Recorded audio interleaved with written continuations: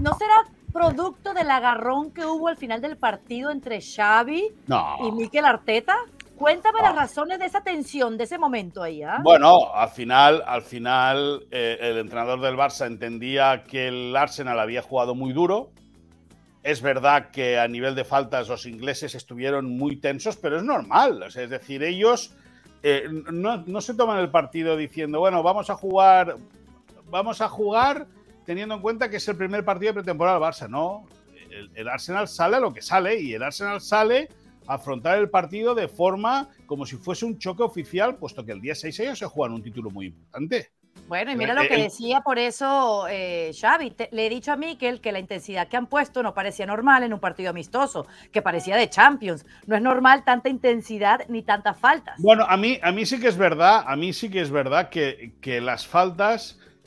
Eh, eh, yo me, he levantado a las cuatro y media de la mañana, ahora aquí, para ver el partido me he tenido que esperar hasta las 5 y 6 minutos o 5 y 16 a que arrancase porque el retraso de los futbolistas del, Arsenal. Y es verdad que entre el árbitro que no supo tomarle la toma al partido, no supo agarrar de, entrada la rienda al partido, y que los futbolistas ingleses cortaban constantemente el juego, porque es su manera de jugar, básicamente, ya está. Es decir, al final el Arsenal es un equipo que le gusta tener la pelota, que tiene mucho gusto cuando maneja el, juego, sabe llegar, sabe salir muy bien desde atrás, sabe crear muy bien, sabe buscar espacios, pero es verdad que van muy al choque, son ingleses y eso se nota.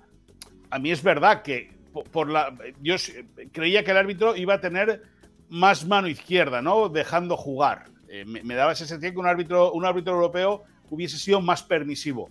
Y es verdad que cuando se te corta, se interrumpe tanto el juego, es difícil tener ritmo. Ahora, yo con todo el cariño y todo el respeto del mundo a Xavi, eh, esto es fútbol. Y el fútbol, eh, lejos que en aquellas pretemporadas en las cuales el Barça se iba a Holanda o el Madrid se iba a Austria y jugaban amistosos y ganaban 0-28. Esto es otra historia ya.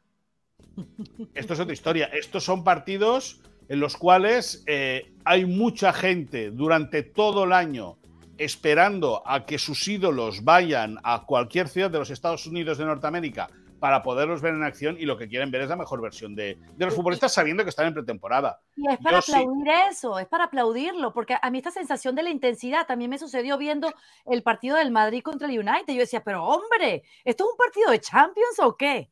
Ah, es que yo creo, yo, a mí me da la impresión de que eso es ser serio y es ser...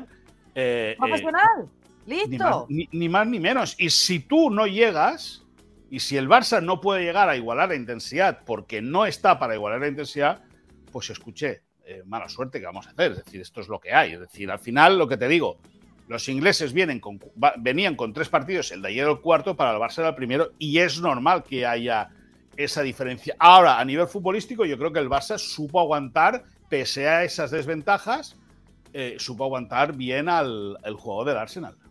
Claro. ¿Alguna repercusión, Rodri, que tú crees que pueda tener este, este agarrón, esta crítica de, de Xavi a la intensidad del Arsenal o este encontronazo con Mikel Arteta?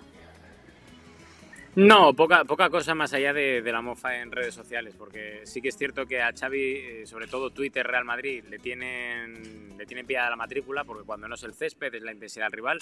Pero yo voy a decir una cosa, ¿eh? yo entiendo a Xavi, entiendo muy bien a Xavi, y es más, le apoyo y le aplaudo, porque entiendo también que hay que tener un mínimo de intensidad, pero yo ayer en el partido del Barça vi cosas, al igual que lo vi también en la segunda parte del partido entre el Madrid y el Manchester United, que hay veces que se van un poco de frenada. Y hay un código interno de los jugadores, es decir, en pretemporada, cuidado, no vayas a ser que alguien se mm, cruce el cable y condicione la temporada de cualquier jugador. ¿eh? Yo puedo llegar a entender porque son códigos de vestuario, que sí, que está muy bien de cara a la galería, decir esto es fútbol, esto es intensidad, eh, que es el fútbol inglés tal y cual, sí, pero luego, insisto, eh, las lesiones vienen cuando uno menos se lo espera y en este tipo de pretemporadas precisamente los jugadores lo quieren. Claro, claro, lo que sí, lo que sí que hay que denunciar, lo que sí que hay que denunciar es que si en los Estados Unidos de Norteamérica se quieren disputar este tipo de partidos, no se puede tener el césped que tenía ayer el Estadio de Los Ángeles.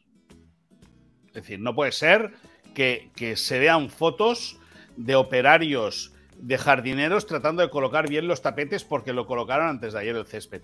Eso tiene un riesgo brutal. Y si no, que se lo pregunten a Maxi Rodríguez, el futbolista, exfutbolista argentino, que vino a jugar con la selección de Argentina la inauguración del estadio de la Condomina en Murcia y se rompió, los, eh, se rompió la rodilla.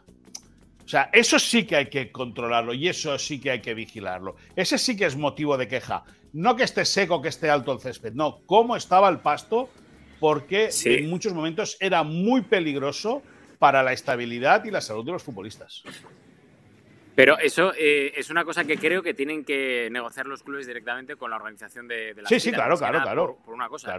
Es que como son todos eh, estadios de hierba sintética, de hierba artificial para el tema de la NFL, pues claro, ayer antes del partido entre el Real Madrid y el United veías a los operarios acabar de, colocar los tepes. Hoy, por ejemplo, el Real Madrid entrena en el AT&T Stadium de los Cowboys y están igual. Están ahora metiendo y acabando de meter el césped porque, porque es que no arraiga. Y eso, es un problema, y eso es un, problema que tienen que acatar los clubes. Totalmente, totalmente de acuerdo.